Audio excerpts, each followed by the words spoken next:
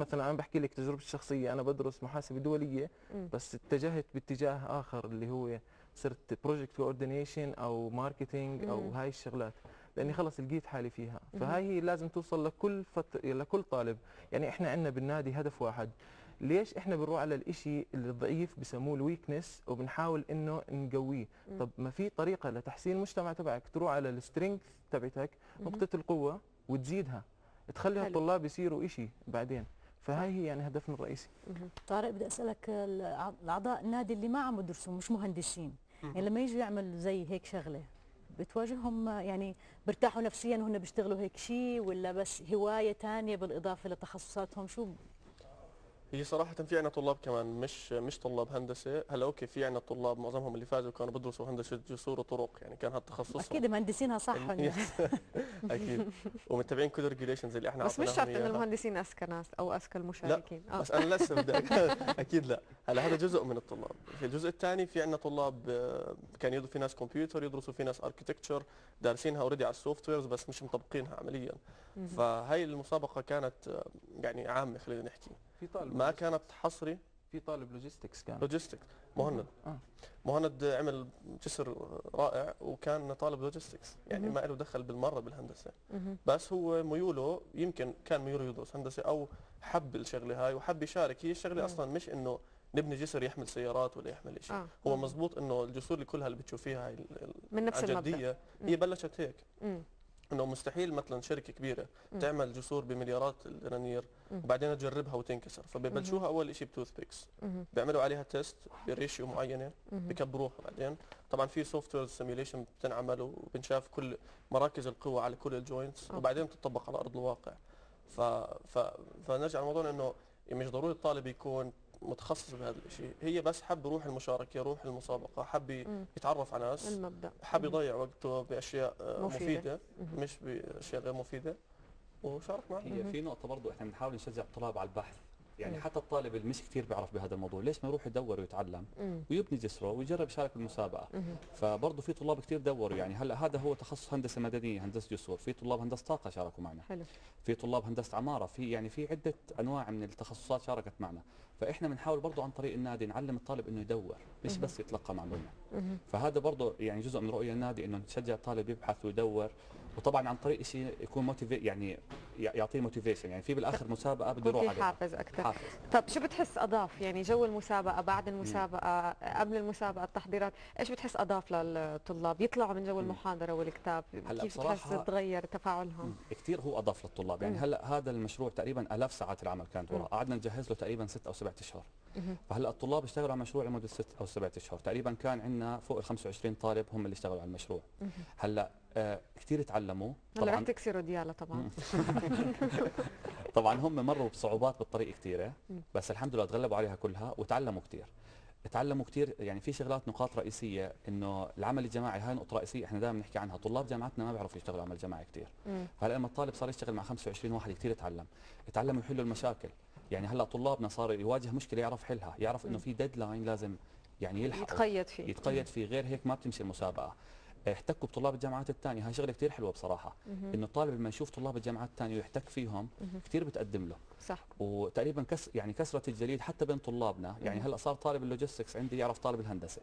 وهيك فكسرت كثير جليد وكثير طورت الطلاب بصراحة وكثير والثقه بالنفس. أنا هاي شغلة كثير مهمة بحبها.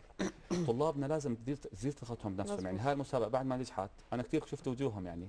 كثير مبسوطين ما شاء الله يعني بحسوا بالإنجاز هيك. بحسوا إنهم عملوا شيء كثير مفيد وكثير نجح فبصراحة كثير قدمت لهم هاي المسابقة.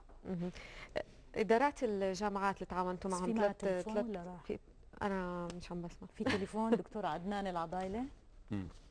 هلو؟ ألو. أهلا دكتور. صباح الخير. سعد صباحك. أنا الدكتور عدنان عضايلي عميد شؤون طلبة في جامعة البلقاء التطبيقية. أهلين دكتور. الله يعطيك العافية. الله يعافيك. حقيقة يعني بالصدفة أنا والد ولا طارق أها.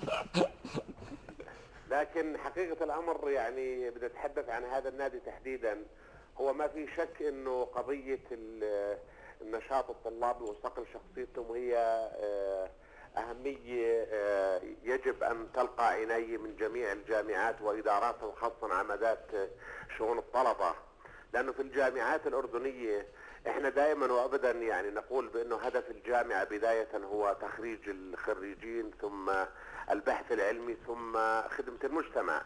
فهذا العمل اللي بقوم فيه الطلاب الآن طلابنا في الجامعة الألمانية هو جزء أساسي من دور الجامعات في خدمة المجتمع. ما في شك يعني هذه النجاحات اللي إحنا بنشوفها دائما يعني لابد من من من جهد أشخاص آخرين الآن أنا يعني من خلالكم بحب أوجه التحية إلى الدكتور محمد نزال بشكل خاص كمشرف على نادي ال IEEE وإلى أيضا الجامعة الالمانيه ممثله بالاستاذ الرئيس. يعني حقيقة الأمر له جهد كبير بدعم طلاب الجامعة الألمانية. يعني حديثنا الآن إحنا عن طلابنا.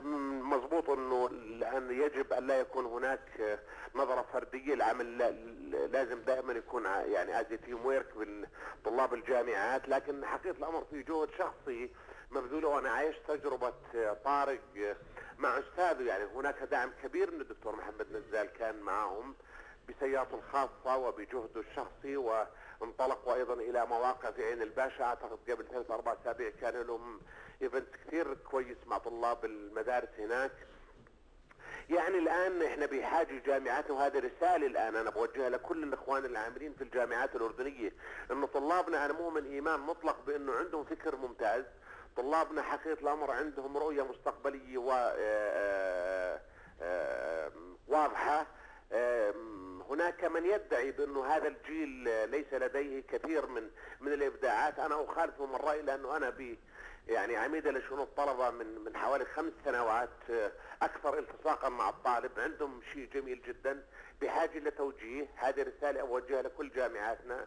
كل جامعاتها يجب أن تلتقي. والآن يعني أيضا هم طلاب اللي فازوا بالمراتب الأولى وأيضا من طلابي ج- من طلاب جامعة البلقاء ولكن بالنسبة لي أنا حقيقة الأمر سواء من من البلقاء أو من الألمانية أو من هذا هم طلاب الأردنيين طلاب جامعاتنا المبدعين متميزين كما كانوا وسيبقوا إن شاء الله يعني بهذا التميز. يجب أن أن لا نعمل بشكل إفرادي، يجب أن نكون داعمين لطلابنا، يجب أن يخصص لمثل هذه الأندية العلمية الت- التكنولوجية مبالغ مالية، أساتذة على درجة كبيرة من الوعي على شاكلة الدكتور محمد نزال. آه، آه، كمحطة أيضا. شكرا جزيلا لكم لأنه أنا على علم أنه المحطة الأولى اللي بتستضيف الطلاب المتميزين وهذا دورنا أيضا كإعلام رسالة أوجه لجميع المؤسسات الإعلامية سواء الخاصة والرسمية أنهم هذا هذا الجيل من الشباب أنهم بحاجة إلى عناية عندنا ثقة فيهم عالية. يجب أن يدعموا يجب أن يكون هناك تسليط أضواء عليهم. أيضا من القطاع الخاص ال- النجاحات الآن في في الجسور ال- الموجود الآن يعني هي بتخص وال- وال civil engineering بشكل عام ليه ما يكون معاهم الآن ناس بيشتغلوا من من الأمانة من البلديات يدعموهم؟ يعني هو هو هي نجاح ليس نجاح فرد هو نجاح مجموعات في دعم في جامعات بت- بتشتغل. ويعني دائما وابدا إحنا يعني يعني أه- يعني يعني أرجو أن لا أطيل كثيرا. بنسمع باستمرار انه جامعاتنا وشبابنا وعنف جامعي. لا ابدا يعني إحنا للأسف إحنا بنسلط على جزء بسيط جدا من سلبية بسيطة موجودة في الجامعات لكن هناك المئات من الإيجابيات آه اعلامنا للأسف ما بركز عليها كثير. هو يعني نؤكد على الجانب السلبي على قلته ونبتعد عن الجانب الإيجابي على كثرته علينا أن نعظم الإيجابيات. علينا أن نجدول السلبيات ثم نبدأ بحلها حسب إمكانياتنا وحسب رؤية واضحة. أنا بثق في طلاب الجامعات الأردنية بالمناسبة. أثق ثقه ثقة مطلقة. ب- أنا بثق في أساتذتنا في الجامعات. يعني بدون غرور. كان لنا دور بالجامعات الأردنية بالتنمية الأكاديمية والتعليمية في كثير من الدول المحيطات كان لنا يعني طلابنا أيضا الموجودين الآن في الخارج آه، وأنا متابع كثير من طلاب اللي تخرجوا آه، من المتميزين في كل الشركات العربية والأجنبية وفي الدول الأوروبية.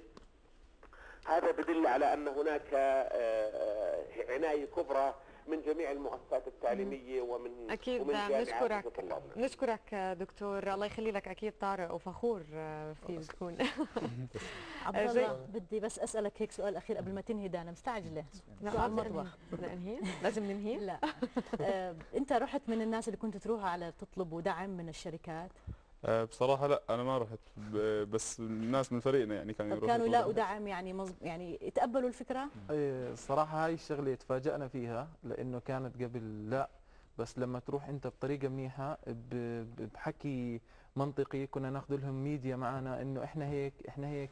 يعني إحنا مجرد بس شباب. فكانوا صراحة كثير في منهم يعجبوا بالفكرة ودعمونا وبنحب نشكر بشكل خاص آه، آه، دار الهندسة وبنحب نشكر Natural Looks وصحارى مول على دعمونا ووفروا لنا المكان. في مطبعة بينو شارك يعني دعمتنا بالبوسترات وال roll-ups يعني- وبنحب نشكر كل اللي ساعدنا صراحة بكل ال team support team يعني بشكل عام آه، شكرا لهم كلهم. بس هيك في. عندي إضافة صغيرة. برضه في حدا إحنا نسينا نحكي عنه اللي هو رئيس الجامعة الألمانية الأردنية الأستاذ دكتور لبيب الخضراء صراحة دعمه المتواصل لنا واستيعابه للشباب ودعمهم هذا لعب دور كبير إنجاح النادي صح بصراحة هو بعطي الشباب الحرية يعني هاي كلها يعني الشباب. بعطيهم حرية بطريقة كثير كبيرة بترك لهم غرفة الإبداع وبقول لهم يعني يلا ابدعوا يعني إن شاء الله تكون الجامعة الألمانية قدوة وال إن شاء الله يعني طبعاً. يعني الإدارات في الجامعات زي ما حكيت يكونوا متفاهمين والله. للشباب فما شاء الله يعني الشباب دائما لما يدخلوا زن أو ما يعرفوا يحلوها لدرجة طبعاً. نعرف بنطلع عند الرئيس بيساعدنا كان يعني ما قصر معنا بالمرة الحمد لله. في اتصال دكتورة ختام آه، اسحيمات ألو ألو أهلا دكتورة تفضلي. السلام عليكم. وعليكم السلام. آه، الدكتوره ختام سحيمات مشرفة تربوية في وزارة التربية والتعليم. أهلين فيكي آه، الحقيقة أنا بحب آه، في البداية أشكر الفريق اللي حضرتكم مستضيفينه ممثل بالدكتور محمد نزال ورئيس النادي طارق عضايلة والنواب الأخ عبد الله والأخ فهد. طبعا أنا على كوني مشرفة تربوية في وزارة التربية والتعليم. كنت على اطلاع على الفكرة اللي تفضل وحكى عنها الدكتور محمد نزال بالمختبر المتنقل. آه، وسمعت إنه تم اختيار طبعا بعض المدارس اللي كانت آه، لمبادرة مدرستي. وطبعا هذا المشروع لاحظت إنه يعني بالتعاون مع وزارة التربية مشروع بتوقع إنه كثير يكون ناجح.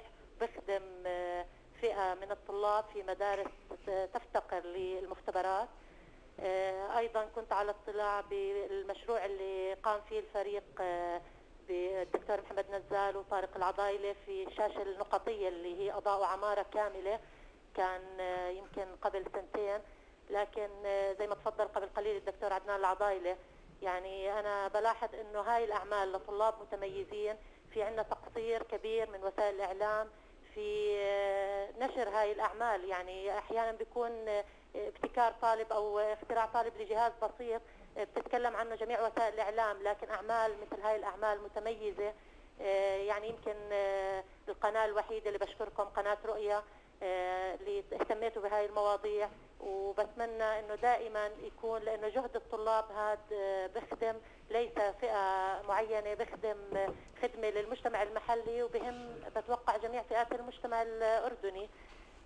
وإن شاء الله إحنا يعني بنتمنى لهم مزيد من التقدم ممثلة برئيس الجامعة الألمانية وبهمة آه، طبعا الشباب المتميزين. ومن آه، خلالكم أنا بشكر آه، الدكتور المشرف على هذا العمل الدكتور محمد نزال ورئيس النادي ال- طارق العضايلة والنواب اللي مستضيفينه معه وشكرا لكم.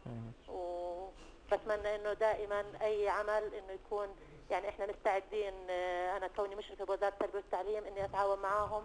في أي عمل بطلبوه طالما في خدمة لطلابنا ولمجتمعنا شكرا لكم. بنشكرك الله أكيد. لاتصالك. شكرا. حابين تعقبوا شيء؟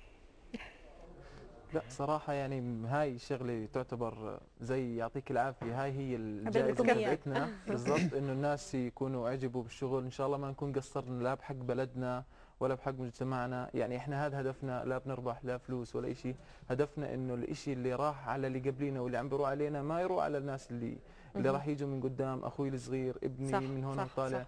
يعني هدفنا إن شاء الله إنه يكون الأردن أحسن ونطلع فيه لفوق مع بعض لأنه الأردن مجتمع فتي فإذا بنركز على الشباب إن شاء الله. راح نصير كثير شغله أكبر إذا في بالأردن ناس زيكم أكيد جد، الأردن رح أها. يكون دائما وابدا. الأردن اولا نتشرف شكرا لك يعني بجهودكم كشباب زي ما حكيت ما تضيع فرصة ولا على أي جيل يعني لاحق إن شاء الله بالفرص بطرق التعليم آه، وأيضا زي ما حكينا بالثقة وخروجهم وتخرجهم بعد من بعد الجامعة بدي أشكركم أكيد شكراً. دكتور محمد نزال فهد طارق وعبد الله شكراً. شكرا شكراً لك. لكم شكراً موفقين. وبدنا لسه مشاريع أحسن وأكيد عبر الرؤية رح نركز على أكيد، المسابقات أكيد. وأي مشروع للنادي شكرا شكراً لكم لكم. شكرا ما تكون- أكيد مكملين معكم دنيا يا دنيا استنونا